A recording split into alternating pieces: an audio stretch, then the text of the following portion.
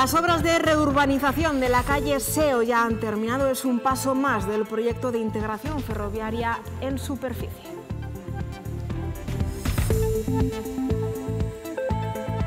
¿Qué tal? ¿Cómo están los trabajos del túnel de Panaderos? También continúan. De hecho, hoy el alcalde hablaba de plazos.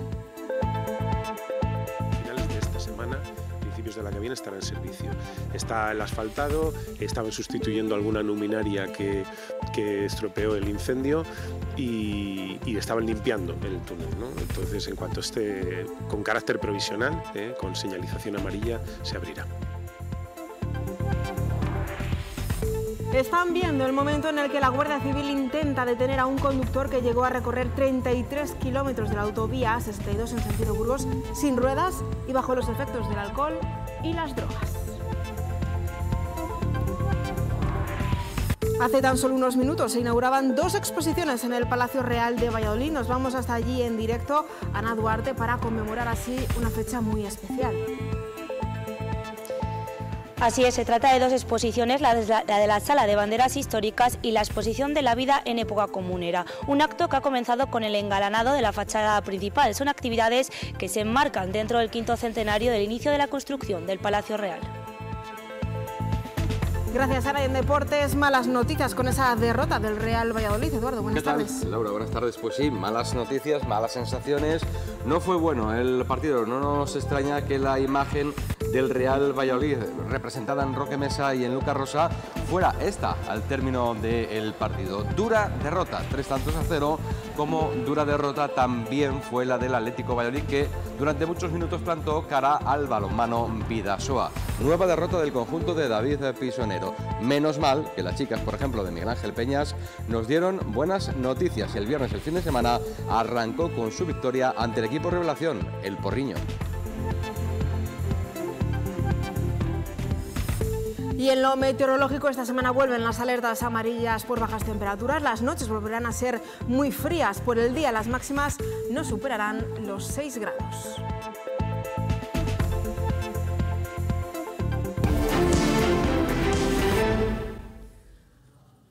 Las obras de integración ferroviaria en superficie avanzan a buen ritmo, a pesar de algunos retrasos. El grueso del proyecto de la zona noreste ya se está terminando prácticamente, Noemí Morante.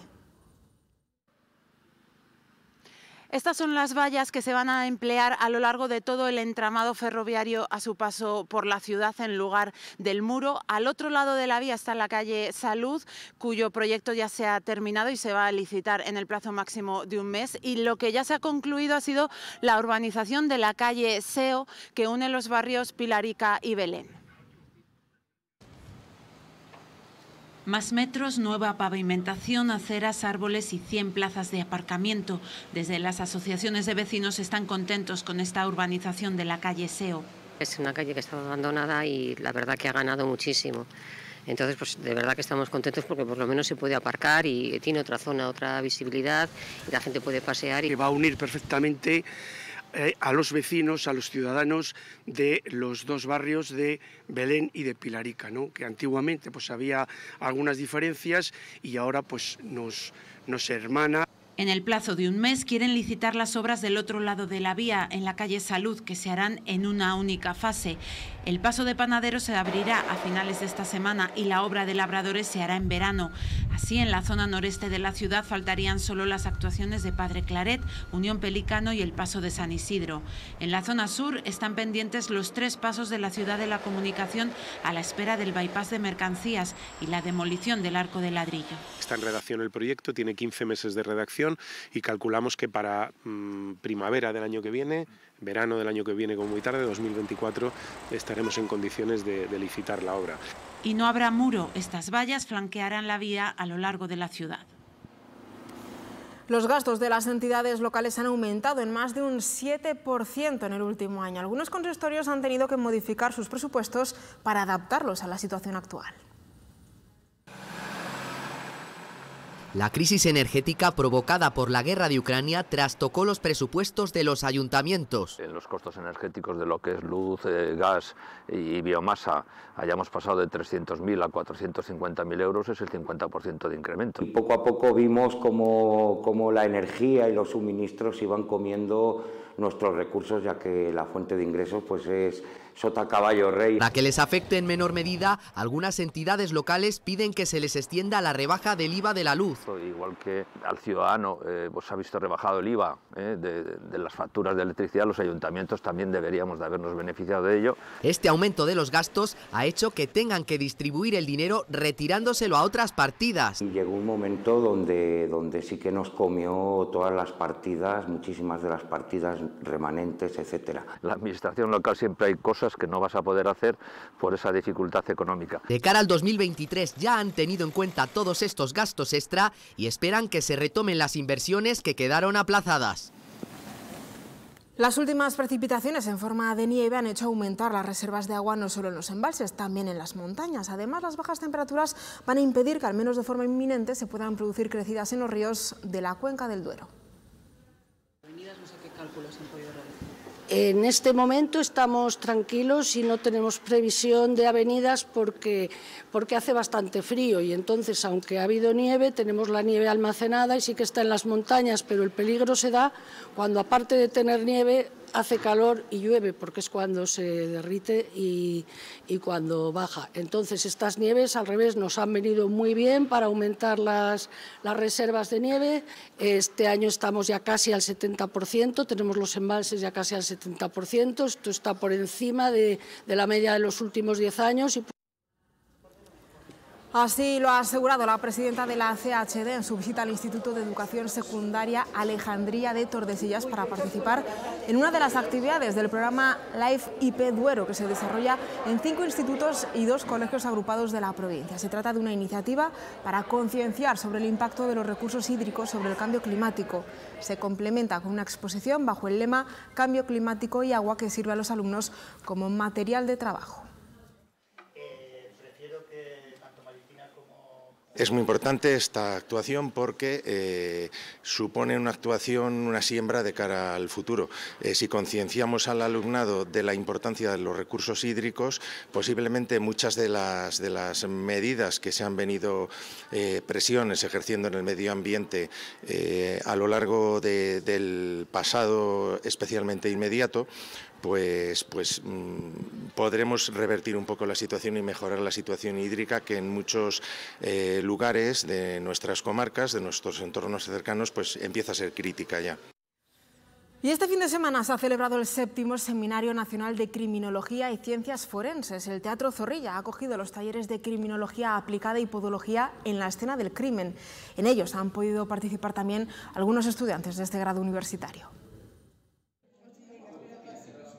La criminología es una ciencia multidisciplinar. Colabora para la para investigar eh, sobre todo lo que es la ciencia del comportamiento en el delito, el, lo que es el, la actividad delictiva y por qué se produce esa actividad. Los profesionales creen que la pandemia ha influido en los actos delictivos. Sí que hay alguna relación entre la pandemia y el aumento de tipos de delitos o no, pero el problema es saber qué tipos de delitos han sido los que más están influenciados y si la causa procede de porque no se ha podido realizar unas actividades que se realizan normalmente o porque estábamos en, en casa encerrados. No todo lo que vemos en las series es real.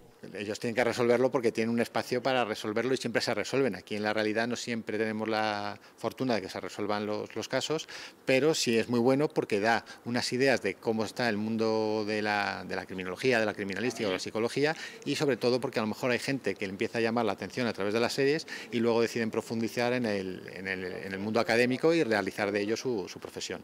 Con formaciones y casos prácticos, tanto estudiantes como profesionales aprenden a sacar más partido a su trabajo.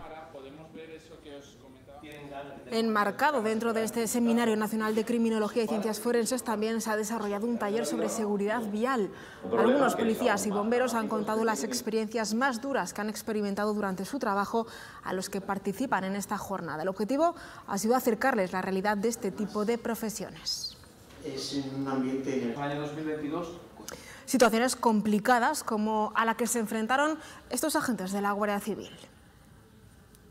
Así se encontraron a este vehículo en la madrugada del 19 de febrero, circulando por la A62 en sentido Burgos, 33 kilómetros sin rueda delantera derecha y sin neumático trasero derecho, chocando repetidamente con la valla de protección de la autovía. Los agentes escoltaron el vehículo hasta que el conductor, un hombre de 49 años, lo detuvo. Circulaba de noche con gafas de sol bajo los efectos del alcohol y las drogas. Fue detenido por conducción temeraria bajo los efectos del alcohol y las drogas, por negativa a someterse a las pruebas y también por atentado contra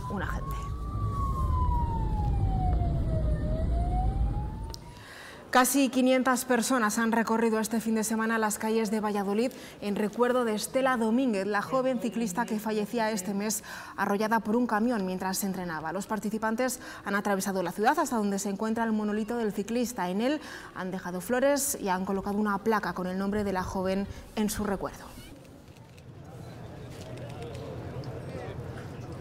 Siempre que, nos montemos al coche, pues el, coche, el camión es un arma como una escopeta, no puedes disparar un tiro al aire porque puedes matar a alguien, ¿no? Eh, entonces con un camión, con un vehículo, tenemos que tener siempre esa, eh, eso en la cabeza de que un descuido nuestro pues, puede robar la vida de una persona. En este caso ha sido mi hija y nos ha robado la vida a nosotros también.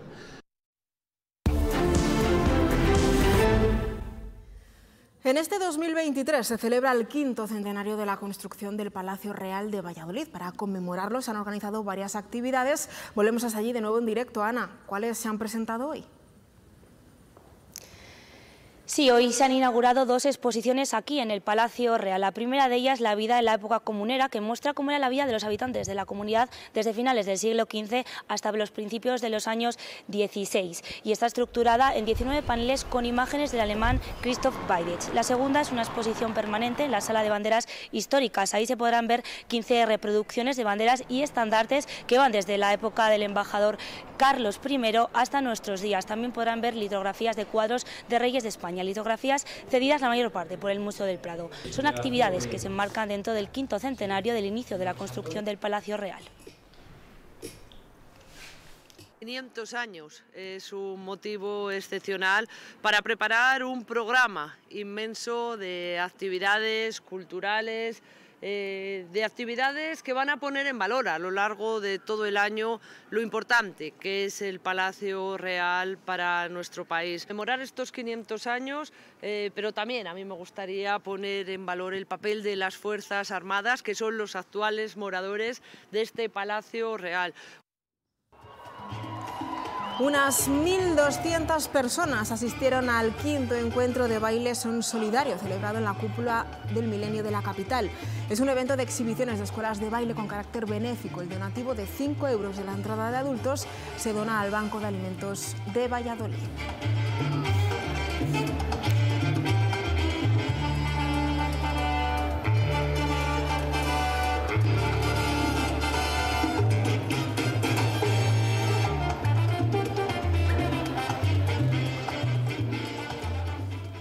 Ahora hacemos una breve pausa y enseguida analizamos esta última jornada en la que todos los rivales del Real Valladolid han ganado, Eduardo. ¿Qué tal? Podríamos incluso haber metido esas imágenes, porque vaya baile que le dio el Celta de Vigo al Real Valladolid. Hablaremos de ello y del resto del fin de semana, evidentemente, con buenas noticias como por ejemplo la victoria del balonmano Aula Valladolid. Ahora lo hablamos.